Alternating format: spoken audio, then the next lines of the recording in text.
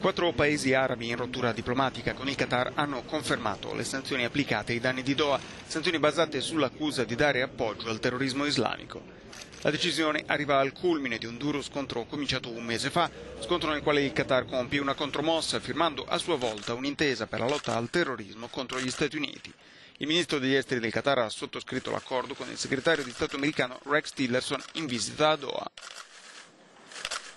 Mentre le luci sono puntate sulle accuse di finanziamento al terrorismo rivolte al Qatar da quattro paesi vicini che ci tengono sotto assedio, ha detto il ministro, il Qatar è il primo a firmare un programma esecutivo con gli Stati Uniti per lottare contro il finanziamento al terrorismo e invitiamo gli altri paesi a seguire il nostro esempio, ha detto in conferenza stampa. Contromossa incassata con indifferenza da Arabia Saudita, Emirati Arabi Uniti, Bahrain ed Egitto che hanno attuato una dura politica di isolamento nei confronti del loro vicino ed affermano che, nonostante l'accordo con gli Stati Uniti, continueranno a tenere sotto stretta osservazione le mosse di Doha.